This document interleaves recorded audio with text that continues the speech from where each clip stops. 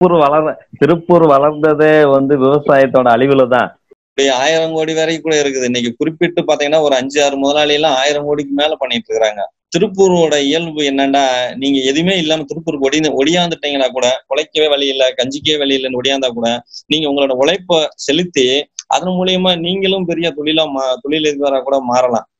நீங்க கையில வந்து காசே இல்லாம சாப்பாட்டுக்கு வழி இல்லாம பஸ்ஸுக்கு மட்டும் காசு இருந்து நீங்க வந்து ஒடியாந்துட்டீங்கன்னா ஏதாவது ஒரு கம்பெனில உங்களுக்கான நீங்க வேலை கத்துக்கிட்டுன்னு கூட இல்ல. நீங்க ஒரு ஒரு தொழிலாளியா ஒரு கம்பெனில வேலை சேர்ந்து பேக்கிங்லயோ இல்ல ஒரு அயனிங்லயோ ஏதோ ஒரு வேலை சேர்ந்து நீங்க உங்களை தக்க வச்சுக்கலாம். உங்களுக்கான வாழ்க்கைக்கு வந்து உத்தரவாதம் கிடைக்கும்.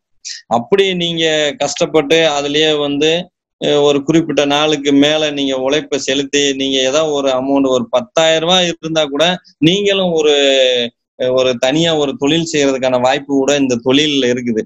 அதை நீங்க ஒரு ஒரு பீசிங் மிஷின்ல ஒரு ஐயாயிரம் ரூபாய்க்கு கூட வாங்கி அதை நீங்க சின்னதா வந்து லேபிள் பிரிண்ட் அடிக்கலாம். இல்லையோ ஒரு சின்ன சின்ன ஒர்க் கூட பண்ணிக்கலாம். இல்லையா ஒரு இருபது ஒரு பத்தாயிரம் ரூபாய் பணம் இருந்ததுன்னா ஒரு சின்ன மிஷினை கூட வாங்கி போட்டு நீங்களுமே வந்து ஏதாவது ஒரு லேபிள் வச்சு கொடுக்கலாம்.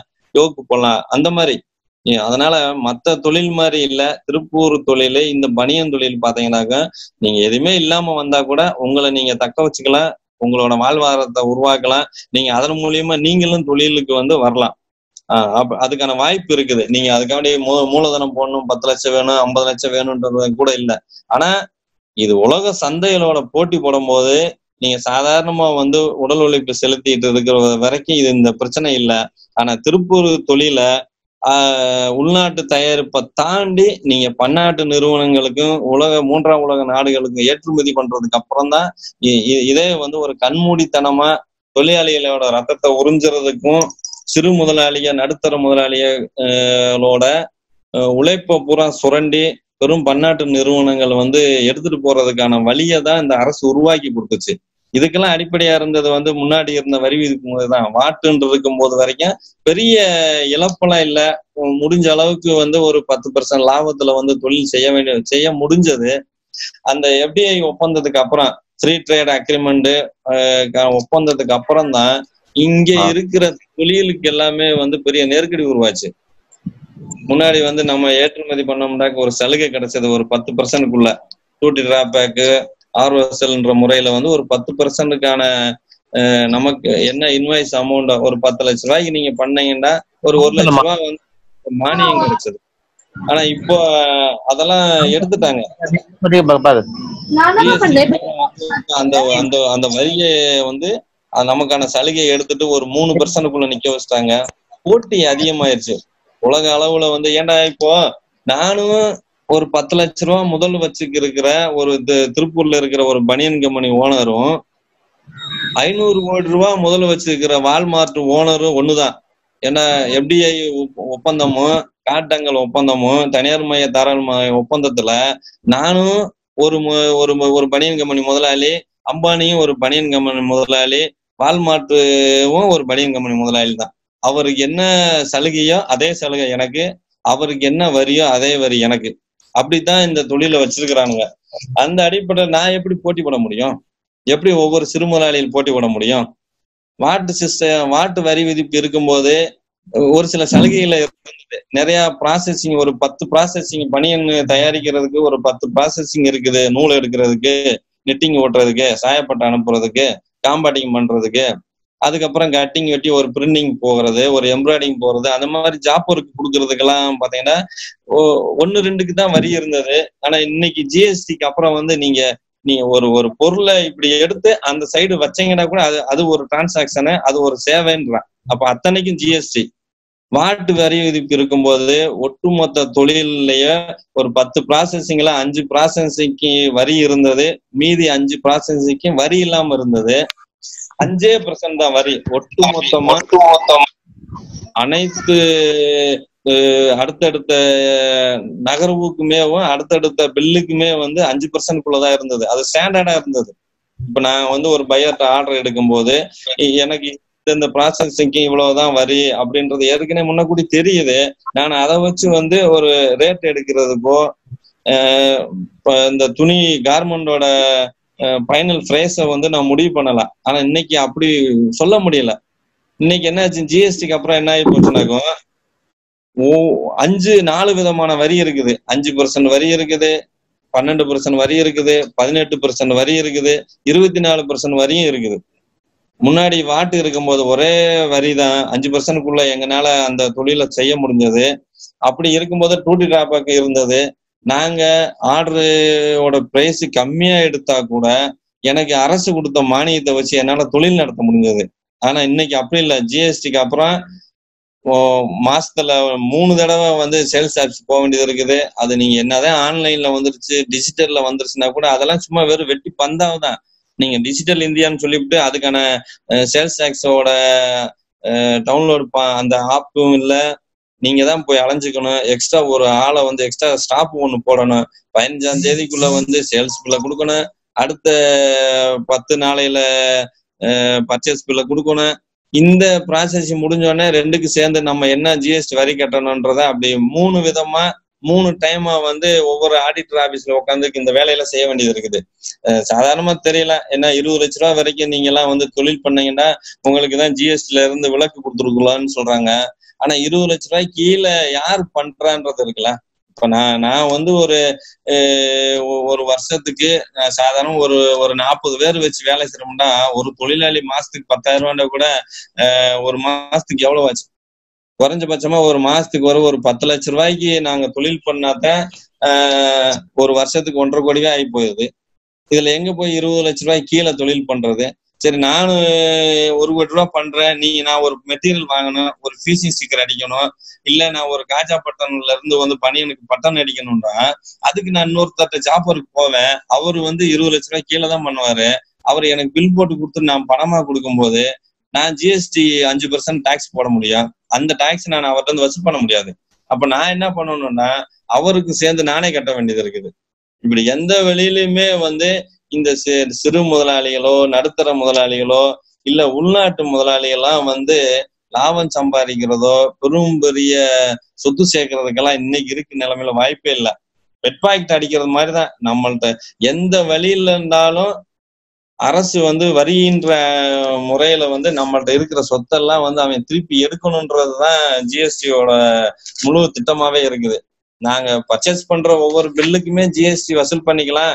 நீங்க வந்து எக்ஸ்போர்ட் பில் போடும்போது நீங்க ஷிப்பிங் பில் டேட் அதான் நம்ம கப்பல்ல புக் பண்ணாலும் இல்ல சப்போஸ் விமானத்துல புக் பண்ணி நம்ம கூட்ஸ் அனுப்பிச்சாலும் அந்த புக்கிங்ல இருந்து ஏழு நாளையில வந்து உங்களுக்கான ஜிஎஸ்டி ரீஃபண்ட் வந்துருண்டு அன்னைக்கு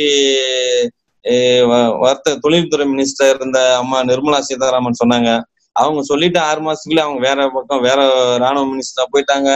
அதுக்கப்புறம் இப்ப பார்த்தா பைனான்ஸ் மினிஸ்டர் உட்காந்துக்கிட்டாங்க எல்லாம் சொல்றாங்க எல்லாம் வாயில வட சுட்டுக்கிட்டே தான் இருக்கிறான்னு ஒழிய யதார்த்தமா வந்து எந்த ஒரு நிறுவனமும் அது சாதாரணமா ஒரு லட்ச ரூபாய்க்கு தொழில் பண்ணவனாலும் சரி ஆயிரம் கோடி ரூபாய்க்கு தொழில் பண்ணாலும் சரி இ- இங்க வந்து ஒரு இக்கட்ல தான் நின்றது.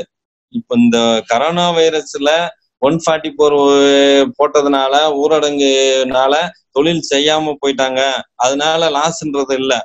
இந்த ஒன் ஃபார்ட்டி ஃபோர் போடுறதுக்கு முன்னாடியே வந்து கிட்டத்தட்ட ஒரு முப்பது பெர்சன்ட்டுக்கான தொழில் நிறுவனங்களை மூடி போயிட்டாங்க ஜிஎஸ்டினால ஜிஎஸ்டியோட பாதிப்பு வந்து அந்த அளவுக்கு இருந்ததுனால கிட்டத்தட்ட கன்ஃபார்மா என்ன என்ன போறது நானே இங்க கிட்டத்தட்ட இருபது வருஷமா இருக்கிறதுனால குறைஞ்சபட்சம் ஒரு முப்பது சதவீதமான கம்பெனி எல்லாம் இழுத்து மூடிட்டு இன்னைக்கு தொழிலாளி எல்லாம் வெளியில ஏத்திட்டாங்க. அப்ப அந்த தொழிலாளியை வச்சு இப்ப என்ன இன்னொன்னு என்ன நடக்குதுனாக்க ஒரு பக்கம் தொழில் நஷ்டமாகி போக போக இன்னொரு பக்கம் தொழிலாளிகளோட உழைப்பு அவனோட நேரம் அதிகமாகுது. ஆனா அவனோட வருமானம் பார்த்தீங்கன்னா கம்மியாயிட்டே இருக்குது. ஆஹ் தொழிலாளிக்கு வேலை இல்லாத போது அவங்களே வாலண்டரியா வந்துடுறாங்க. நான் நேத்துக்கு வரைக்கும் ஒரு பீஸுக்கு வந்து இவ்வளவுக்கு தச்சா இன்னைக்கு வந்து எனக்கு அந்த ரேட் தேவையில்லை. எனக்கு கம்மியா கூட கொடுங்க போதும்.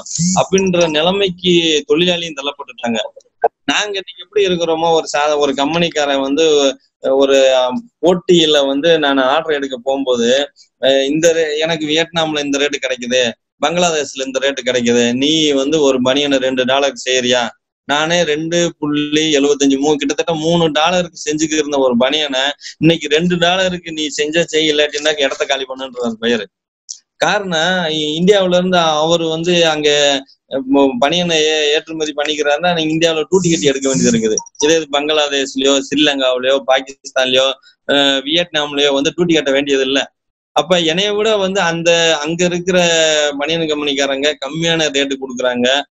இந்தியாவுல பாத்தீங்கன்னா பருத்திய சௌ நீங்க பஞ்சு ஏற்றுமதி பண்ணிக்கலாம் நூலை ஏற்றுமதி பண்ணிக்கலாம் அது கட்டுப்பாடே கிடையாது. ஆனா அங்க இருந்து நமக்கு கம்மியான விலையில வந்து ஒரு சைனாவிலயோ இல்ல பங்களாதேஷ்லயோ கிடைக்குதுன்னா நம்ம அங்க இருந்து இறக்கணும்னா அதுக்கு நம்ம ஏற்றுமதியை விட இறக்குமதிக்கான சுங்க கட்டணம் ஜாஸ்தி. இப்ப எனக்கு ஒரு பொருள் தேவை எனக்கு ஒரு மனிதனுக்கான ஒரு பட்டன் தேவை பெங்களூர்லயோ இல்ல லுதியானாவிலயோ இல்ல தமிழ்நாட்டிலயோ எங்கேயோ ஒரு இடத்துல அந்த பட்டனை நான் பர்ச்சேஸ் பண்ணேன்னா எனக்கு அது கூலி ஒரு அது- அதுக்கான விலை ஒரு அஞ்சு ரூபா ஆகுதுன்னு வைங்களேன். இதே அதை நான் வந்து பெங்களூர்ல இருந்து வாங்கி தமிழ்நாட்டுக்கு கொண்டு வர்றதுக்கு ஒரு ஒரு பத்து கிலோ துணி வாங்குறேன்னு வைங்களேன். ஒரு எக்ஸாம்பிள் சொல்றேன். ஒரு பத்து கிலோ துணி நான் லுதியானாவில இருந்து திருப்பூருக்கு வாங்கிட்டு வரணும் வண்டி வாடகை கிலோவுக்கெல்லாம் சேர்த்து எனக்கு ஒரு ரெண்டு ரூபா சே செலவாகுதுன்னா நான் சைனாவுல இருந்து கொண்டு வரேன்னா எனக்கு அங்க வரும் இருபத்தஞ்சு பைசா தான் செலவாகுது. ஏன்னா அ- அப்படிதான் இருக்குது. இங்க இருக்கிற வரி முதல்ல. ஜிஎஸ்டி போறதா இருக்கட்டும் இன்புட் டாக்ஸா இருக்கட்டும் ஒவ்வொரு ப்ராசஸுக்குமே தனித்தனி தனி வரியா போட்டுட்டு எனக்கு இம்போர்ட் பண்றதை விட இங்க உள்நாட்டுல பொருளுக்கான மெட்டீரியல் வாங்கினா கூட விலை ஜாஸ்தியா இருக்குது. அப்ப எனக்கு நான் சைனாவில இருந்து ஒரு பொருள் நான் இன்னைக்கு தேவையான மூலப்பொருள் எல்லாம் வாங்குற போது ஹாங்காங்ல வாங்கும் போதோ வந்து எனக்கு மே- என்னோட கூலி கம்மியாகுது. எதை லாபம் இல்லாட்டினா கூட நஷ்டம் இல்லாம என்னோட தொழிலை பாக்குறதுக்கான வாய்ப்பு இருந்தது. இன்னைக்கு ஒன் ஃபார்ட்டி ஃபோர் இந்தியாவுல போடுறதுக்கு முன்னாடியே வந்து திருப்பூர்ல இருக்கிற எக்ஸ்போர்ட்டர் அசோசியேஷன் சேர்மனா இருக்கட்டும் இல்ல பெரிய விஞ்ஞானி எல்லாம் கூட கூப்பிட்டு வந்து கூட இங்க ஒரு மீட்டிங் நடத்துனாங்க. ஏய் சைனாக்காரன் ஒளிஞ்சுட்டாண்டா கொரோனாவுல சாக போறானுங்க அப்ப நமக்கு தொழில் பூரா திருப்பூரை நோக்கி தான் பூரா படையெடுக்க போறாங்க. அப்படின்றது மாதிரி எல்லாம் கூட இங்க பிஜேபிக்காரங்களோ அதோட ஆதரவாளர் எல்லாம் கூட பேசினாங்க. ஆனா அன்னைக்கு நாங்க ஒரு பேஸ்புக்ல கூட இது போட்டோம். நீ அங்க கரோனா வந்துச்சுன்னு சொன்னும் போதே இங்க திருப்பூரோட ஏற்றுமதியே கிட்டத்தட்ட பாதி அவுட்டுன்றது மாதிரிதான். நாங்க ஜனவரி முப்பதாம் தேதி கேரளாவுல முத முத கரோனா நோயாளி கண்டுபிடிச்சாங்க அப்படின்ற போதேவும் சீனாவுல பிரச்சனை ஆயிடுச்சு சீனாவுல இருந்து எங்களுக்கு கிடைக்க வேண்டிய மெட்டீரியல் வரல அசசரிஸ் வரல. அப்ப அப்பயே எங்களோட பாதி வேலை நின்று போச்சு வெளிநாட்டுல பிரச்சனைன்ற போதே வந்து பையர் ஆட்டோமேட்டிக்கா மெயில் போட்டாரு. நீங்க இந்த மாதிரி இது வரைக்கும் தச்சதை மட்டும் ரெடி பண்ணுங்க. புதுசா எந்த துணியும் வெட்டாதீங்க தைக்காதீங்க இதோட நிப்பாட்டிக்கங்கன்னு சொல்லிட்டாங்க. ஆனா இந்தியாவுல ஒன் ஃபார்ட்டி ஃபோர் போடவும் இல்ல. நீங்க எல்லாம் தொழில் பண்ணிக்கிட்டே இருக்கலாம். ட்ரம்ப் வந்தாரு வேடிக்கை காமிச்சாரு. நம்மளும் வந்து டாட்டா டாடா காமிச்சிட்டு தான் உட்காந்துருந்தாங்க இங்க இருக்கிற எல்லா முதலாளியும் சரி எல்லா மினிஸ்டர்களும் சரி இங்க இருந்து ஆள் கூட அனுப்பிச்சாங்க. குஜராத்துக்கு போய் மோடியவும் ட்ரம்ப்பும் வரவேற்கிறதுக்கும் வேடிக்கை பார்க்கறதுக்கும் திருப்பூர்ல இருக்கிற பெருநிறுவனங்களும் பெரும் முதலாளிகளும் கூட தன்னோட விசுவாசிகள் எல்லாம் அனுப்பிச்சு கூட வச்சிருக்க. ஒரு லட்சம் பேர் கூட்ட கூடணும். ஏன்னா ட்ரம்ப் சொல்லிட்டாரு மோடி சொல்லிட்டாரு. நம்ம பிரதமர் வந்து மானத்தை கா காப்பாத்தணும்னு சொல்லிட்டு இங்க இருக்கிறவனோட மானத்தெல்லாம் கப்பலேத்திட்டானுங்க. வெளிநாட்டுல இருந்து வந்தவனை பூரா உள்ள விட்டுட்டு இங்க இருக்கிறவனை பூரா வெளிநாடு போக விட்டுட்டு எந்த ஒரு கண்ட்ரோலும் இல்லாம அது அது என்ன சொல்ல கிராமத்தை சொல்லுவாங்க எல்லாம் பூரா தந்தானாட்டியா விட்டாங்கடா அப்படின்ற மாதிரி. அந்த மாதிரிதான் இப்ப திருப்பூரை விட்டு இன்னைக்கு இங்க அழிஞ்சு கிடக்குது. இதுல இருந்து நாம என்ன பாடம் கத்துக்கிறோம்னாக்க திருப்பூர் தொழிலா இருக்கட்டும் சரி இல்ல மத்த தொழிலா இருக்கட்டும் சரி அரசோட ப உதவிகளும் வங்கிகளோட உதவி இல்லாம இந்த தொழிலை வந்து கண்டிப்பா நடத்தவே முடியாது. இப்ப இப்ப என்ன நிலைமைன்னு சொல்லணும்னா அஹ் இந்தியாவுல ஒன் ஃபார்ட்டி போற தடை எடுத்துட்டு ஊரடங்குல எடுத்துட்டு எல்லாரும் எல்லாரும் வேலையும் செய்யலாம். அவங்கவுங்க போங்க அவங்கவுங்க வேலை செஞ்சுக்கோங்க. எல்லாம் நாங்க திறந்து விட்டுட்டோம் அப்படின்னு அறிவிச்சிட்டா கூட திருப்பூர் திரும்ப வந்து வேலை செய்யறதுக்கு குறைஞ்சபட்சம் நாலு மாசம் ஆகும். நாலு மாசம் இல்லாம இங்க ஒரு அணுவும் நடக்காது. ஏன் அதை தாண்டி இங்க உள்நாட்டு தொழிலுன்னு இருப்பாங்க. ஏன்னா ஒரு சிலர் கேட்கலாம் என்ன ஏன் பூரா எக்ஸ்போர்ட் மட்டும் தான் பேசிட்டு இருக்கிறேன் உள்நாட்டு தயாரிப்பு இல்லையா? இங்க இருக்கிற மக்கள் எல்லாம் என்ன செஞ்சுட்டு இருக்கிறாங்க? அப்படின்னு கூட கேட்கலாம். ஆனா உள்நாட்டு தயாரிப்புக்கான பனியனை ஒரு குறிப்பிட்ட ஒரு அஞ்சு நிறுவனம் தான் இங்க நடத்திட்டு இருக்குது. பூமரு லக்ஸு இந்த மாதிரி ஒரு குறிப்பிட்ட பூமக்ஸு இல்ல ஆனந்து இ- இப்படியெல்லாம் கூட ஒரு ரூபா இப்படி ஒரு குறிப்பிட்ட நிறுவனங்கள் தான். அந்த நிறுவனம் ஐநூறு கோடி ஆயிரம் கோடி முதல மூலதனம் போட்டுட்டு மில்ல பூராமே புடிச்சு வச்சுக்கிட்டு அப்படியான நிறுவனத்துக்காரங்க தான் அந்த உள்நாட்டு தயாரிப்புக்கான குழந்தைகள் தயாரிப்புக்கான ஜட்டியோ பனியனோ இந்த மாதிரி பண்ணிட்டு இருக்கிறாங்க ஆனா அதே நேரத்துல நான் ஏற்றுமதி பண்றேன்னா அ- அந்த துணிகளை வந்து இங்க போட முடியுமான்னா போட முடியாது. அதுக்கான விலைவாசி இங்க கட்டுப்படியே ஆகாது. பையர் ஒரு வெளிநாட்டுக்காரரு ஒரு அமெரிக்காக்காரரோ இல்ல ஒரு ஐரோப்பாக்காரரோ வந்து ஒரு பனியனை வாங்கினாருன்னா ஒரு முந்நூறு ரூபாயில இருந்து வாங்குறாரு. அதே முந்நூறு ரூபாய்க்கான பனியனை வந்து த- இங்க தமிழ்நாட்டுல விற்க முடியுமா இந்தியாவுல விற்க முடியுமானா கண்டிப்பா விற்க முடியாது. வாங்குறதுக்கான விலைவாசி இல்ல. காரணம் வாங்க சக்தி இல்ல. தொழிலாளி வந்து பன்னெண்டு மணி நேரம் உழைச்சாலும் இல்ல பதினாறு மணி நேரம் உழைச்சாலும் அவன் வீட்டு வாடகை கொடுக்கறதுக்கும் தண்ணி வாங்கி குடிக்கிறதுக்கும் ஆஹ் இதுக்கே அவனுக்கு சரியா போயிடுது. அவன் எங்க போய் மிச்சம் பண்ண போறான்? அவன் எங்க உற்பத்தி பண்ண போறான்? நாட்டோட தொழிலு தற்சார்பே கிடையாது இது.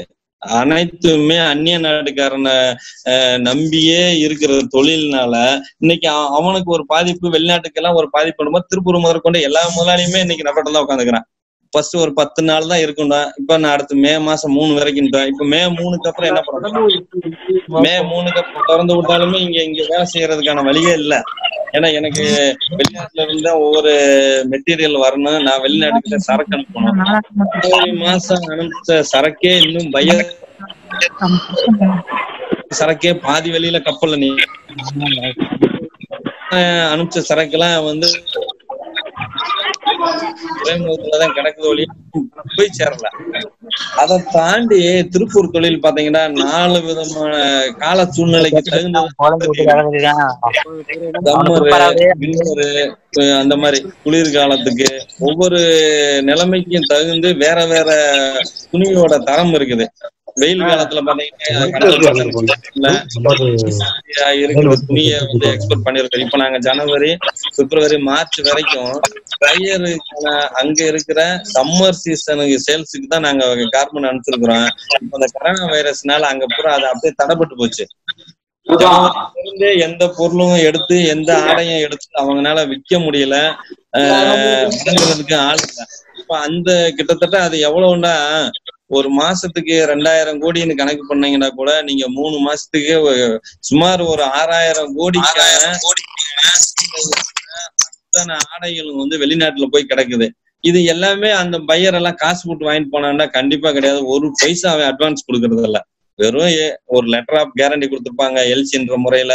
அது ஷிப்பிங் பில் ஆனதுல இருந்து முப்பதாவது நாள்ல இருக்கும் இல்ல அறுபது நாள் இருக்கும் இல்ல தொண்ணூறு நாள் இருக்கும். அப்படிதான் இங்க தொழிலேவும் ஒரு வியாபாரிகிட்ட போய் இல்ல பெரிய முதலாளியான அம்பானியோட ஜியோவுக்கு ஈசி பண்ணாலோ இல்லாட்டி நம்ம ஒரு நெட் கார்டு போட்டாலோ காசு கொடுத்தா தான் நெட் கார்டு கிடைக்க போகுது.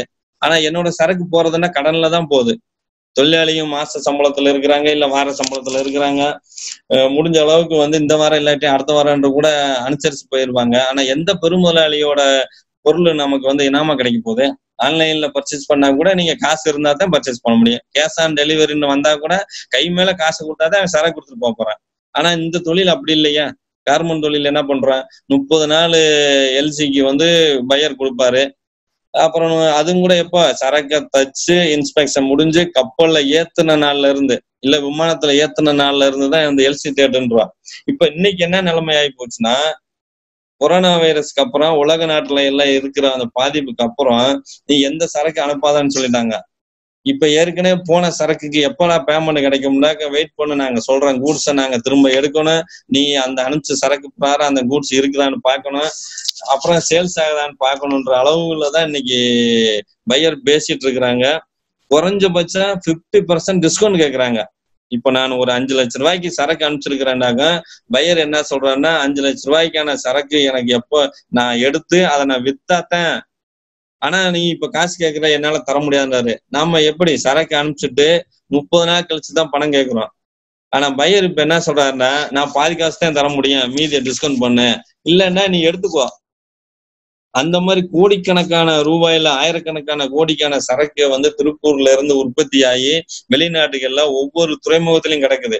அந்த ஒவ்வொரு துறைமுகத்துல இருக்கிற சரக்குக்கு ஒவ்வொரு பையர் இன்னைக்கு என்ன சொல்றேன்னா ஐம்பது பர்சன்ட் டிஸ்கவுண்ட் தரையா பேரம் பேச வேண்டியது இருக்குது. நம்ம நல்லா ஒட்டஞ்சத்திரம் மாட்டு சந்தையில போய் நிக்க வச்சுட்டு வியாபாரியும் தரகருக்கு இடையில துண்டை வச்சு கைக்குள்ள வந்து விரல பிடிச்சு பாக்குறாங்களே அந்த ஒரு நிலைமையில தான் இன்னைக்கு திருப்பூரோட முதலாளிகளோட நிலைமையா இருக்குது. அவன் என்ன பண்ண போறேன்னு தெரியல. இன்னைக்கே பாதி இன்னைக்கு இருக்கிற நிலைமையில பாதி பேர் மனநோயில இருக்கிறாங்க. ஒரு ஒரு கம்பெனிக்காரெல்லாம் பாத்தீங்கன்னா கோயம்புத்தூர்ல போய் லாட்ஜ் புக் பண்ணி அஞ்சாவது மாடியில இருந்து கீழே செத்து போயிட்டாரு. அவர் கிட்டத்தட்ட நூறு கோடிக்கு மேல மதிப்பு இருக்கு சொத்து இருக்குது கம்பெனி இருக்குது. ஆனா அவர் என்ன அவரை அடுத்த நிலைமைக்கு யோசனை பண்ண முடியல. இன்னைக்கு எப்படி நம்ம தொழில் நடத்த முடியும் எப்படி நம்ம பிழைக்க முடியும் அப்படின்ற மனவியாதிய இன்னைக்கு பாதி பேருக்கு வந்திருக்கலாம். ஒரு பொது வெளியில ஒரு பொதுவான கம்யூனிஸ்ட் இயக்கங்கள் அந்த மாதிரியான தொடர்பு இருக்கிற ஒரு சில ந- ஒரு சில முதலாளிகள் வேண்டாம் இன்னைக்கு தைரியமா பேசலாம். இணை இணை மாதிரின்னு கூட வச்சுக்கோங்களேன். ஒரு பொதுவான ஒரு இந்த இந்த தொழில் நெருக்கடியா வருது. இந்த தொழில இருந்து நம்ம எப்படி மீளுவோம் அப்படின்றத வந்து ஓரளவுக்கு கம்யூனிஸ்ட் இயக்கத்தோட தொடர்புல இருக்கிறதுனாலதான் நம்ம தைரியமா உட்கார்ந்துட்டு இருக்கிறோம் சரி தொழில் நடக்கும். லாபனஸ் எல்லாம் வரத்தான் செய்யும். இதுல இருந்து நம்ம மீண்டு வந்துக்கலாம் ஒவ்வொரு பாதிப்புக்கு அப்புறம் வந்து ஒரு வளர்ச்சி இருக்கத்தானே செய்யுன்ற நம்பிக்கை இருக்கிறவங்க வேண்டா இந்த தொழில்ல மேலும் வரலாம்.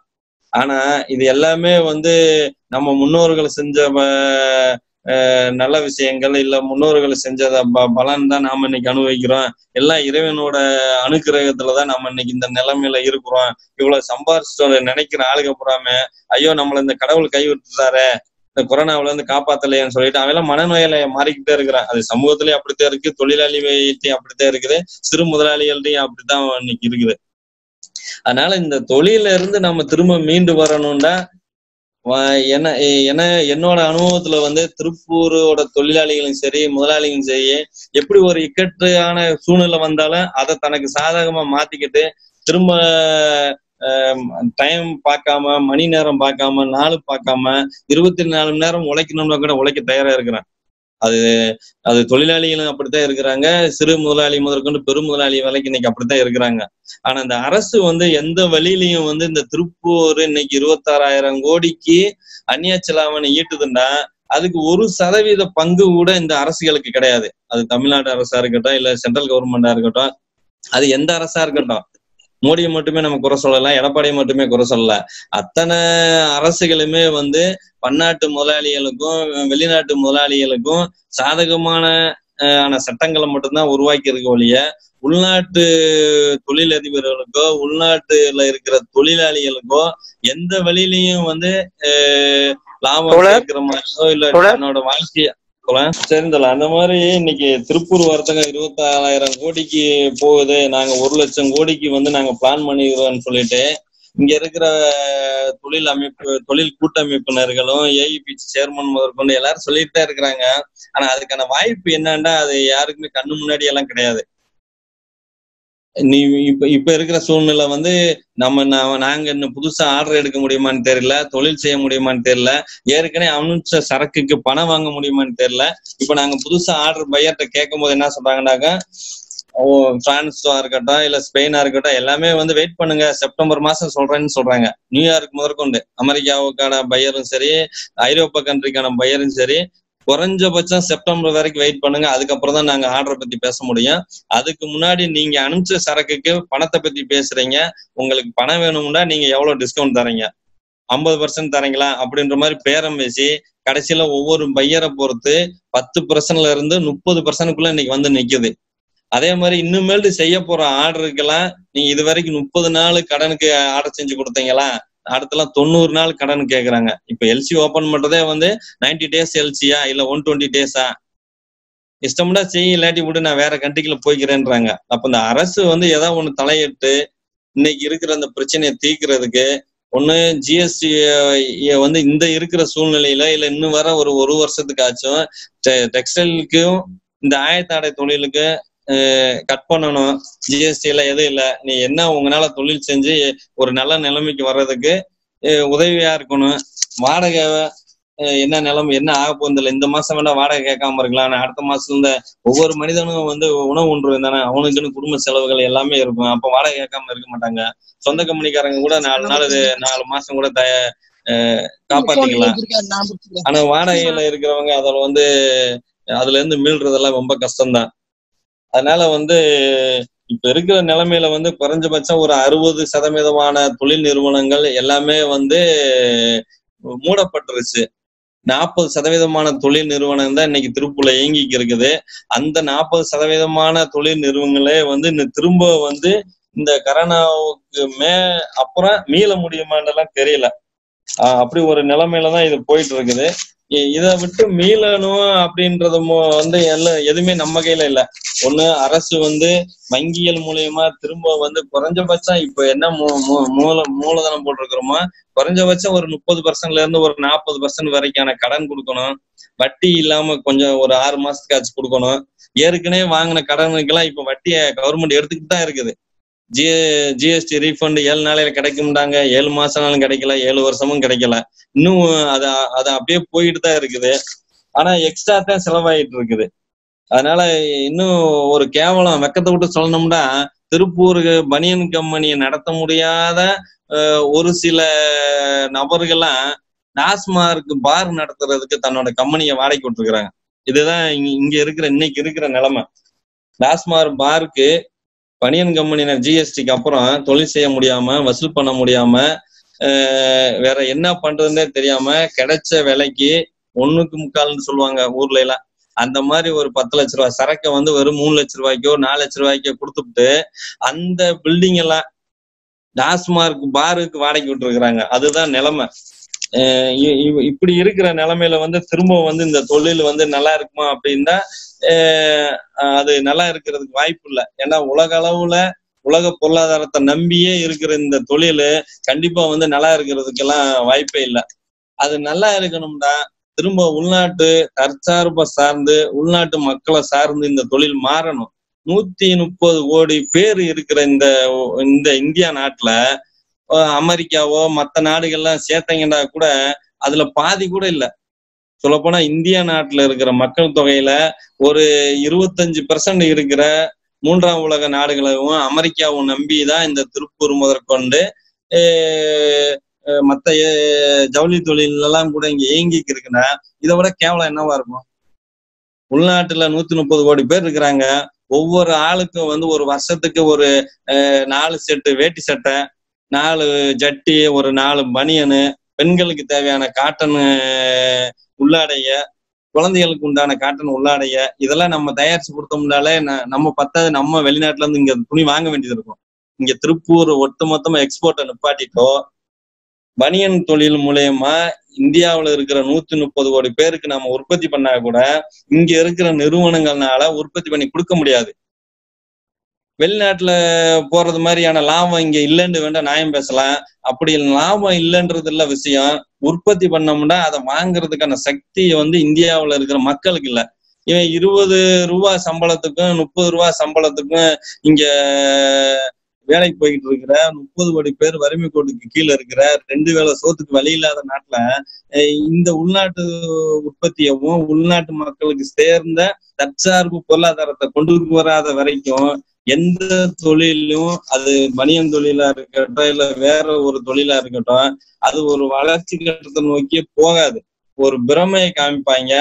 எவ்வளவு லாபம் சம்பாதிக்க முடியும் எவ்வளவு தொழிலாளிகளை சுரண்ட முடியும் எவ்வளவு சிறு முதலாளிகளை சுரண்ட முடியும்ன்ற அடிப்படையில தான் இந்த அரசு செயல்படும் பன்னாட்டு நிறுவனம் செயல்படும். அந்த அடிப்படையில இந்தியாவில் இருக்கிற உள்நாட்டு மக்களுக்கு தேவையான நம்மளோட பருத்தியவோ பஞ்சவோ விவசாயத்தை அதிகமப்படுத்தி ஏன்னா இந்தியா விவசாய நாடுன்றியா அறுபது சதவீதமான மக்கள் கிராமப்புறத்தை வாழ்றேன்னு சொல்றேன்ல அப்ப அந்த விவசாயத்தை திரும்ப வந்து நவீனமாக்குறதோ இல்ல என்னென்ன எந்த- எந்த வழியில எல்லாம் நம்ம விவசாயத்தை திரும்ப நடைமுறைப்படுத்த முடியுமோ அந்த அளவுக்கு விவசாய உற்பத்தியும் பண்ணிக்கிட்டு அதே நேரத்துல தொழிற்சாலையை புறாமே உள்நாட்டுக்கு தேவையான உற்பத்தியை முதல் படுத்துறது.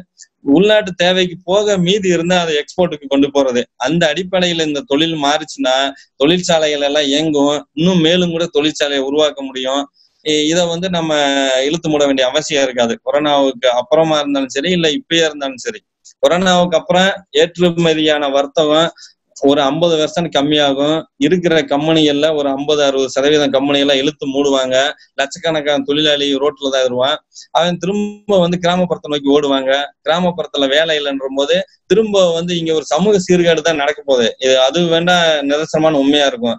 திருடு நடக்கும் செயின் பறிப்பு நடக்கும் கொள்ளை அடிப்பான்.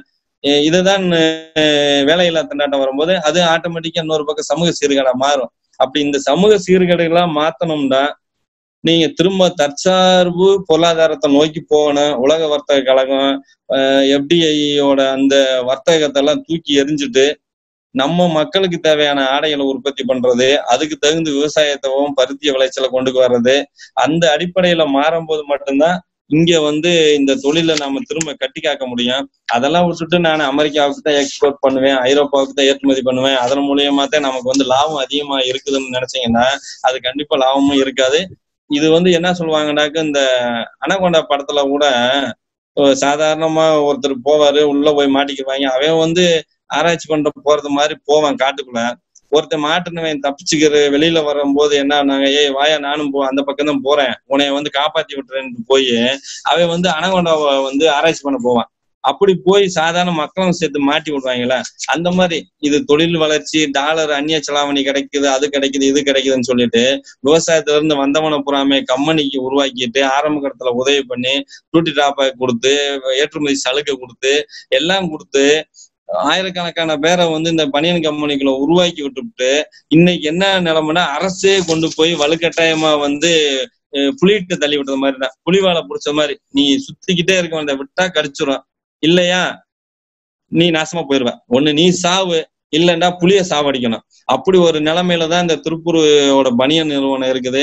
இப்ப ஒட்டுமொத்தமா வெளிநாட்டுகளையும் பிரச்சனை ஆகும்போது உள்நாட்டும் இது பிரச்சனையா மாறிடுச்சு. அப்படி அந்த மாதிரி வந்து இன்னும் வேற வழி இல்ல. நம்ம விவசாயத்துக்கு தான் நம்ம திரும்பணும். தொழில்ல எல்லாம் வந்து உள்நாட்டு make in India made in இந்தியான்னு எல்லாம் மோடி வந்து நமக்கு எல்லாம் நிறைய பேசினாரு. எல்லாம் டயரு கலந்து எல்லாமே கலந்து அக்கா பார்ட்ஸ் பார்ட்ஸா கலந்து போச்சு. அதனால இந்த மேக் இன் இந்தியான்னு சொல்றதும் சரி மேட் இன் இந்தியான்னு சொன்னீங்கன்னா சரி அதை வந்து நடைமுறைப்படுத்துறதுக்கான முயற்சியில நீங்க இறங்கினா மட்டும்தான் இன்னும் இங்க இருக்கிற தொழிலாளி எல்லாம் காப்பாற்ற முடியும். இங்க இருக்கிற சிறு நடுத்தர முதலாளி எல்லாம் காப்பாற்ற முடியும். இன்னும் சொல்ல போனா இந்த தேசிய தரகு முதலாளியா பன்னாட்டு நிறுவனங்களுக்கு உற்பத்தி பண்ணி கொடுக்குற தரகர்களாத்தான் நாங்க இன்னைக்கு திருப்பூர் முதலாளிகள் இருக்குமா ஒழிய நாங்களே நேரடியா வந்து வெளிநாட்டுல ஆர்டர் புடிச்சு நேரடியா அந்த அங்க இருக்கிற மக்களுக்கு வித்து நாங்க பணம் சம்பாதிக்கல. எங்களோட ரேட்டு பாத்தீங்கன்னா ஒரு சாதாரண ஒரு நூத்தம்பது ரூபாயில இருந்து முந்நூறு ரூபாய்க்குள்ள நாங்க தயாரிச்சு கொடுக்குறோம்னா அது பையரோட டேக்ல பாத்தீங்கன்னா அது ஐநூறு ரூபாயில இருந்து ஆயிரத்தி ஐநூறு ரூபாய் வரைக்கும் இருக்கும். ஆனா எனக்கு கிடைக்கிறது பாத்தீங்கன்னா பீஸ் பத்து ரூபா கிடைக்கும். அந்த தரகரா இருக்கிறா இல்ல பையரா இருக்கிறா இல்ல அங்க இருக்கிற ஆளுகளுக்கு பாத்தீங்கன்னா நான் எனக்கு என்ன செலவாச்சா அதை விட பல மடங்கு லாபமா இருக்கும். இப்ப இதெல்லாம் சார்ந்து போகும்போதுதான் மூல எதுவுமே வந்து எங்களோட கையில இல்ல. மூலப்பொருளோட விலையோ தொழிலாளியோட சம்பளமோ அரசு போடுற வட்டியோ இல்ல நாங்க கட்டுற மின் கட்டணமோ உற்பத்தி பொருளை இது எதுவுமே வந்து திருப்பூர்ல இருக்கிற முதலாளிகளோட கண்ட்ரோல்லையோ கட்டுப்பாட்டுக்குள்ள எல்லாம் கிடையாது. விவசாயிக்கு எப்படி வந்து உர விலைய தீர்மானிக்கிறதோ உற்பத்தி பண்ண பொருளை தீர்மானிக்கிறதோ எங்க போய் விற்கணுன்ற சந்தையை தீர்மானிக்கிறதோ விவசாயத்தை இல்லையோ அதே மாதிரி திருப்பூர் முதலாளிகளும் தங்களுக்கு எந்த உரிமை இல்லாம பன்னாட்டு நிறுவனத்துக்காரங்களுக்கும் பெரிய பெரிய பையர்களுக்கும் வந்து தரகு வேலை தான் பார்த்துட்டு இருக்கிறேன். அது அதெல்லாம் வந்து மறைச்சு பேசுறதுக்கெல்லாம் இல்லை. ஒரு நாங்க வந்து எங்களுக்கு வேலை கிடைக்கல. விவசாயம் பண்ணல. நாங்க என்ன பண்றது? ஏதோ ஒரு தொழில் பண்ணணும். என்ன தொழில் பண்றது? எந்த ஊர்ல போய் பிச்சை எடுக்க போனோமோ எந்த ஊர்ல போய் பொழைக்க போனோமோ அந்த பொழைப்புல இருந்து அந்த பொழப்பவே வந்து நாங்க கைப்பற்றி அதன் மூலியமா வந்து அந்த தொழிலை வந்து கத்துக்கிட்டு நாங்களும் அதுல ஒரு தொழில ஒரு தொழிலாளியா மா- இருந்து அதுல இருந்து அந்த நிறுவனத்தை நடத்தி நாங்க அப்- அப்படியான வளர்ச்சி தான் திருப்பூரோட வளர்ச்சி. இங்க யாருமே வந்து மேல இருந்து நேர குதிச்சு பெரும்பெரும் தொழில் இதெல்லாம் மாறல. எல்லாரும் வந்து க கூலி தொழிலாளியா மாறி அதுக்கப்புறம் சிறு முதலாளியா மாறி அதுக்கப்புறம் நடுத்தர முதலாளியா மாறி அப்படித்தான் பெரும் முதலாளியா மாறி இருக்கிறாங்க. அதுக்கு வந்து யாருமே விதிவிலக்கு இல்லை அப்படி ஒரு சூழ்நிலை நம்ம இந்த இந்த நெருக்கடியில இருந்து நம்ம மீளணும்னா திருப்பூர் தொழில வந்து மீள்றதுக்கெல்லாம் வாய்ப்பு இல்லை. அது உண்மைதான். குறைஞ்சபட்சம் ஐம்பது சதவீதமான தொழில் நிறுவனம் இழுத்து மூடப்படும். இருக்கிறதுல பாதி பேர் எனக்கு தெரிஞ்சு இப்போ ஒரு ஒரு மாசத்துக்கு முன்னாடியே வந்து கிட்டத்தட்ட ஆயிரம் கோடி ரூபாய்க்கான மதிப்புக்கு உள்நாட்டு பனியன் நிறுவனங்களே வந்து திவால் நோட்டீஸ் கொடுக்கறதுக்கான நிலைமையில தான் இருக்கிறாங்க. இப்ப இதை தாண்டி இந்த கொரோனாவுக்கு அப்புறம் இன்னும் எத்தனை பேர் கொடுப்பாங்கன்னு தெரியல. எத்தனை பேர் வந்து நட் ரோட்ல நிக்கிறதோ இல்லாட்டி பைத்தியக்கார ஆஸ்பத்திரிக்கு போறதோ இல்லாட்டி தற்கொலை பண்ணிக்கிறதுக்கான நிலைமைய வருதோன்னா அது சொல்ல முடியாது. அப்படி ஒரு நிலைமையில தான் திருப்பூர் முதலாளியா இருக்கிறாங்க. அதனால இப்ப அவங்களெல்லாம் நம்ம வந்து திரும்ப மீட்டெடுக்கணும்னா தற்கொலை நடக்கக்கூடாதுன்னா இழந்த தொழிலை நம்ம திரும்ப மீட்டெடுக்கணும்னா மத்திய மாநில அரசுகள்லாம் வந்து திருப்பூர் முதலாளிகளுக்கும் திருப்பூர் தொழில்களுக்கும் வந்து குறைஞ்சபட்சமாவது ஒரு ஆறு மாசத்துக்கு வட்டி இல்லாத கடன் கொடுக்கணும். ஏற்கனவே வாங்க கடன்களுக்கான இன்ட்ரெஸ்ட்டை வந்து மாசம் மாசம் பிடிக்க கூடாது இதை தாண்டி வந்து புதிய லோனுகளை எல்லாம் நம்ம குடு கொடுத்து திரும்ப தொழில முன்னெடுக்கணுன்றதுக்கான உதவியெல்லாம் பண்ணா மட்டுமே இது தீர்மொழிய வேற எந்த வழியிலும் இந்த பிரச்சனை தீர்க்கறதுக்கு முடியாது.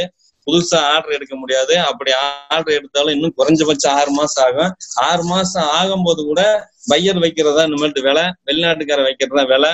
நீ அவன் சொல்றதுதான் இன்னைக்கு அந்த ஒரு பனியனுக்கான ரேட்டா இருக்க போகுது அதனால அது வந்து நம்ம கட்டுப்படி ஆக போதில்ல எந்த ஒரு பெரும் முதலாளியுமே வந்து நீ இந்த நீ நல்ல லாபம் சம்பாதிச்சுக்கோ நீ நல்லா இருங்க. ஒரு நாட்டுக்கு அந்நிய வாய்ப்பு தொழிலாளிகளும் இங்க இருக்கிற சாலைகளும். அடுத்து நம்ம என்ன பண்ண போறோம்? எ- எந்த வெளியில நம்ம இதுல இருந்து மீளுவோன்றத முன்கூடியா தயாரிச்சுக்க வேண்டாம்.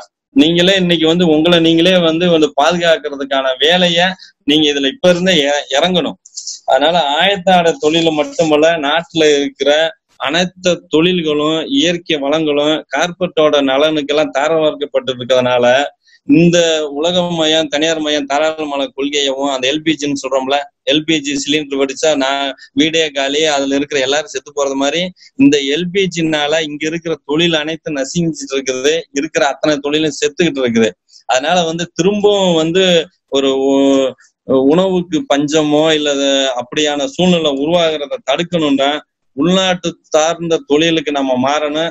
அப்படி மாறணும்னா இங்க இருக்கிற ஒவ்வொரு மக்களுக்கும் வேலை வாய்ப்பு இருக்கணும். வேலை வாய்ப்பு இருந்தா அவங்களுக்கான உழைப்புக்கேற்ற ஊதியம் இருக்கணும். இந்த ஊதியம் கிடைக்கும் போதுதான் அவன் நம்மளோட தயாரிக்கிற பொருளை வாங்கி யூஸ் பண்ண முடியும். அமெரிக்கக்கார ஒரு ட்ரெஸ்ஸை வாங்கி நாலு வாசிங்கள ரெண்டு தடவை போட்டு தூக்கி எறிஞ்சிட்டு போறான்டா. அந்த நிலைமைய அப்படி ஒரு வாழ்க்கைய இந்திய மக்களுக்கு இந்த அரசு உருவாக்கணும். எல்லாம் நினைக்கிறேன் தொழில் வந்து நல்லா தான் இருக்கும். திரும்ப வந்து முன்னுக்கு வந்துடலான்றதெல்லாம் ஒரு நப்பாசு தான் அந்த அடிப்படையில தான் நம்ம இந்த மக்கள் வந்து தனத்தானே வந்து தேர்த்திக்கிறணும். ஏன்னா இந்த அரசுகளும் நான் நமக்கு வந்து உதவி பண்ணும் தொழில வளர்ச்சி கட்டத்தை நோக்கி நகர்த்துன்றதெல்லாம் இல்ல. இது தன்னியல்வா ஒவ்வொரு தொழிலாளியும் இங்க இருக்கிற முதலாளிகளோட உழைப்புலதான் இந்த திருப்பூர் இவ்வளவு பெரிய வளர்ச்சி அடைஞ்சிருக்கிற வழிய அரசுகள் போட்ட எந்த உதவியிலுமே வந்து திருப்பூர் வளர்ச்சி அடையல. இது இங்க இருக்கிற தனிநபர்களோட வளர்ச்சி தான். ஆனா இன்னைக்கு இந்த தனி நபர்களோட வளர்ச்சிய கரோனா வைரஸ் தூக்கி சாப்பிட்டுருச்சு. ஆயிரம் ஐநூறு நோட்டு செல்லாத போது இருபத்தஞ்சு பர்சன்ட் ஒளிஞ்சது. ஜிஎஸ்டி போட்டதுக்கு அப்புறம் ஒரு இருபத்தஞ்சு பர்சன்ட் ஒளிஞ்சது. இன்னைக்கு ஒட்டு மொத்தமா கரோனா வைரஸ் தூக்கி எடுத்துட்டு போயிருச்சு.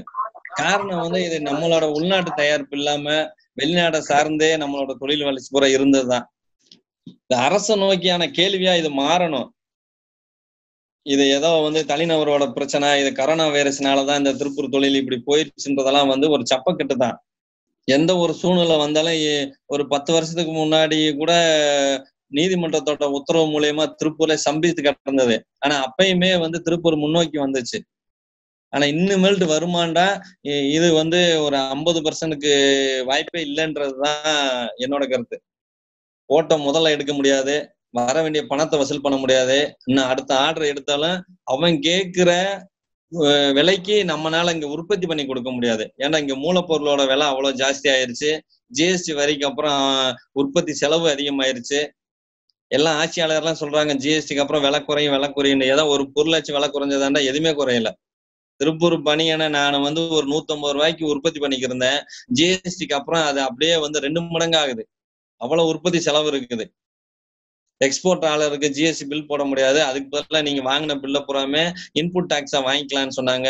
இப்ப வரைக்கும் வரல. ஆர் ஆர்ஓஎஸ்எல் அப்படின்ற ஒரு ஸ்கீம்ல வந்து அதுக்கு ஒரு ஒன்றரை பர்சன்ட் இது சலுகை கொடுக்குறாங்க. ஆனா அந்த சலுகை கூட நமக்கு பணமா வராது. அது லைசன்ஸா வரும். அந்த லைசன்ஸை வச்சு வெளிநாட்டுல இருந்து ஒரு பொருளை இம்போர்ட் பண்ணிக்கலாம். இல்ல வேற யாருக்காச்சும் அந்த லைசன்ஸை வித்துட்டு பணமா மாத்தினா தான். அரசு வந்து நமக்கு பணமா கொடுக்கறது அது எல்லாமே வெறும் லைசன்ஸா தான் கொடுக்குது அதனால இனிமேல்ட்டு எடுக்க போற ஒவ்வொரு ஒவ்வொரு ஆர்டருமே வந்து இங்க இருக்கிற சிறு முதலாளிகளவும் நடுத்தர முதலாளியாவும் கம்பெனி இழுத்து மூடுறதை நோக்கி தான் போகும். ஏன்னா அந்த அளவுக்கு தான் ரேட் இருக்கும். அப்ப அங்க இருக்கிற அந்த தொழிலாளிகள் என்ன பண்ணுவான் சிறு முதலாளிகள் நடுத்தர முதலாளிகள் என்ன பண்ண முடியும்? இதெல்லாம் இந்த அரசு சிந்திக்கணும். அரசு மட்டும் சிந்திச்சு நமக்கெல்லாம் உதவி பண்ணிருமானா கண்டிப்பா பண்ண போறது இல்ல அவங்களோட சிந்தனை எல்லாமே வந்து கார்பரேட் முதலாளிகளை எப்படி வளர்த்து விடுறது எப்படி அம்பானியை வளர்த்து விடுறது எப்படி அதானியை வளர்த்து விடுறது அப்படின்றத அப்படி ஒரு சிந்தனை இருக்கும்போது திருப்புற நோக்கியெல்லாம் அவங்களோட பார்வை திரும்புவாண்டா கண்டிப்பா திரும்பாது. இங்க இருக்கிற பெருமுதலாளிகளும் பிஜேபிக்கு ஆதரவான முதலாளிகளும் வேண்டாம் கோரிக்கை மனு கொடுத்துக்கிட்டே இருக்கலாம். ஐயோ எங்களுக்கு வந்து இந்த மாதிரி ஒரு அஞ்சு மாசத்துக்கு கடன் கொடுங்க வட்டி இல்லாத கடன் கொடுங்க ஏதாவது சலுகை கொடுங்கன்னு கோரிக்கை வச்சுக்கிட்டே இருக்கலாம். இன்னைக்கு பேச போறதுக்கு நேத்துக்கு ஒரு பிஜேபி நண்பர் போன் பண்ணி தோழர் இந்த மாதிரி என்னோட சரக்கே ஒரு கோடி ரூபாய்க்கான சரக்கு பையர்ட்ட போயிருக்குது. இன்னும் வந்து இங்க ஒரு கோடி ரூபாய்க்கான சரக்கு வந்து தயாரிச்சு வச்சிருக்கிறான். எப்ப எடுப்பாங்கன்னு தெரியாது. ஒரு லட்ச ரூபாய் வாடகையில அவர் கம்பெனி நடத்திட்டு இருக்கிறாரு. ஒரு மாசம் வாடகை வாங்காம க- க- கட்டட உரிமையாளர் வேண்டாம் போகலான்னு அடுத்த மாசம் அவர் வாங்காம விடுவாரான்னு எப்படி சொல்ல முடியும்? நம்ம வந்து கம்பெனியை காலிய வேண்டி போடாண்டா இருக்கிற பொருள் எல்லாம் எங்க எடுத்துட்டு போறது? அப்படின்ற ஒரு ஆதங்கத்தை கூட நம்மள்ட்ட கொட்டுறாரு ஏன்? அவர் பிஜேபிக்காரர் தான் அவர் போய் கொட்டலாமே மோடிட்ட கேட்க மாட்டாங்க. ஏன்னா அவங்க நினைக்கிறாங்க இப்ப எல்லாம் திருப்பூர்ல இருக்கவெல்லாம் பெரிய முதலாளியா அப்படி இப்படின்னு எல்லாம் எல்லா மக்களும் நினைச்சிட்டு இருக்கிறாங்க. கம்யூனிஸ்ட் கட்சிக்காரனை தவிர சாதாரணமா மத்த கட்சியில இருக்கிறவங்களோ எல்லாம் நீங்க எல்லாம் முதலாளிகளான்றாங்க. முதலாளிகள் தான் என்ன? வரையறன்றே தெரியாத அளவுக்கு தான் இன்னைக்கு மத்தவங்க எல்லாம் இருக்கிறாங்க. ஐம்பது கோடி ரூபா தொழில் பண்றவங்க நூறு கோடி ரூபா தொழில் பண்றவங்க இல்ல பத்து லட்ச ரூபா தொழில் பண்றவங்க எல்லாம் பன்னாட்டு நிறுவனத்துல இல்ல வால்மார்ட்டையோ இல்ல அங்க இருக்கிற குரூப் ஜானியர்கிட்டயோ லட்சக்கணக்கான கோடியை முதல முதலீடு போட்டுட்டு இருக்கிறான் இன்னைக்கு வா நம்மளாம் கடையில போய் வாங்குறது இப்பெல்லாம் ஆன்லைன்ல மாத்திக்க ஆன்லைன்ல மாத்திக்கன்னு சொல்லிட்டு இருக்கிறாங்க இன்னைக்கு வால்மார்ட் அமேசானு பிளிப்கார்ட் முதற்கொண்டு எல்லா கூடயும் டைப் வச்சுக்கிட்டு பங்கு குறிப்பிட்ட அளவுக்கான பங்குகளை விலைக்கு வாங்கிட்டு எந்த ஒரு வர்த்தகமே வந்து சிறு வணிகர்கிட்ட இருந்து புடுங்கிட்டு இருக்கிறாங்க. அப்ப எல்லாமே டி டிஜிட்டல் மயம். பணம் இல்லையா? கிரெடிட் கார்டு வாங்கி வச்சுக்க கடனை வாங்கிக்க. நைட்ட பகல இருபத்தி நாலு நேரமும் உழைச்சி கொட்டுறான்றான். வாங்குற சக்தி இல்ல. வாங்குற சக்திய வந்து தொழிலாளிகளுக்கும் இங்க இருக்கிற மக்களுக்கு உருவாக்காத அரசு நீ மேலும் கடன்காரனா மாறுறதுக்கு கிரெடிட் கார்டை கொடுத்துட்டு இருக்கிறான். ஒரு லட்ச ரூபாய்க்கு கடன் வாங்கிக்க இல்ல ரெண்டு லட்ச ரூபாய்க்கு கடன் வாங்கிக்க காரு வாங்கிக்க எதுனாலும் வாங்கிக்கோ. கிரெடிட் கார்டை. கொடுக்குற நீ வாங்கி